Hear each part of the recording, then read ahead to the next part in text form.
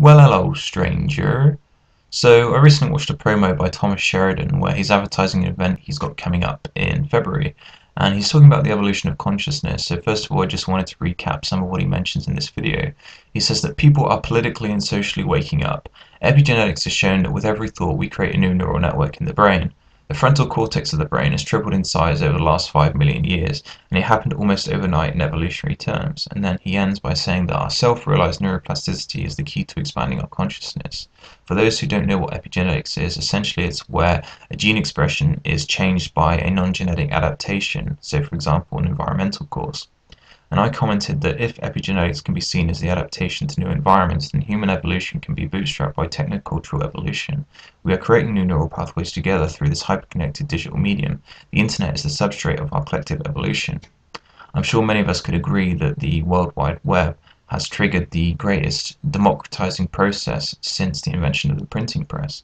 Again, it takes me back to my last vlog when asked what I foresee as the sort of sociological trends um, that innovation, the sort of rhizomatic innovation, is outpacing institutions' ability to react.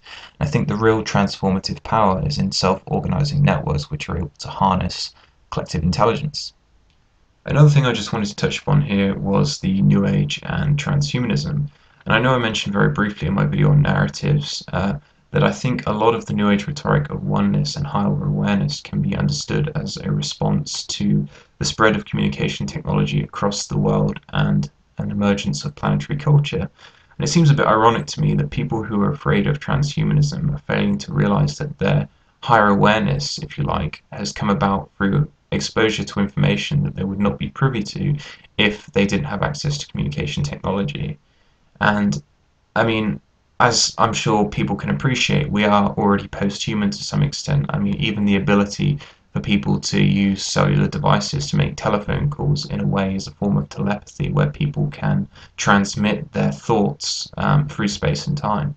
And I think uh, if we actually look at some of the metaphors that are used by the New Age, you can see that they do appropriate to digital era.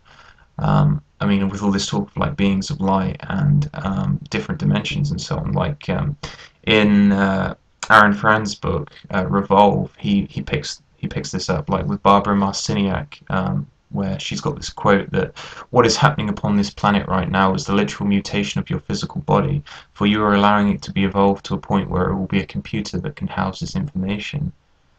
And uh, then I just wanted to think again with the New Age stuff that there's a lot of people this year who are expecting some kind of alien disclosure. And I mean, I'm open minded to there being intelligent life elsewhere in the cosmos. I don't have a problem with that. But I think, as other people have expressed, that it's knowing when you found alien intelligence. I mean, from a species point of view, we're the most alien thing on this planet, um, purely by the fact that we have language.